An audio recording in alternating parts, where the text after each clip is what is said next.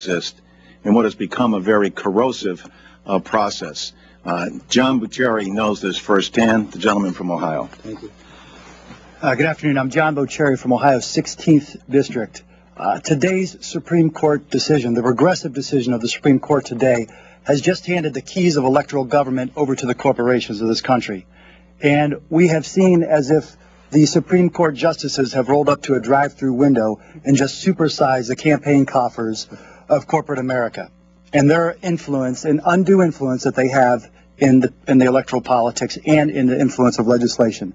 Enough is enough. The American people have spoken loudly that they want people elected to offices who are responsible to them and not the special interest groups that have so much undue influence in our electoral process and in the halls of government.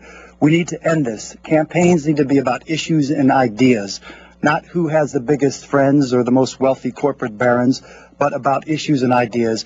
Congressman Larson's legislation will set the appropriate guidelines and balance. We all stand here today because we're deeply concerned about our democracy. We want to see a government that is responsive to the people.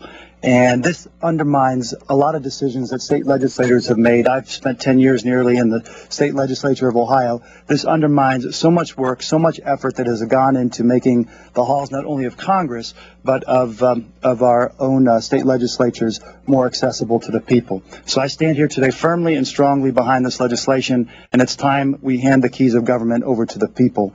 And uh, we need action and results not more supersizing of corporate campaign dollars involved in the electoral process.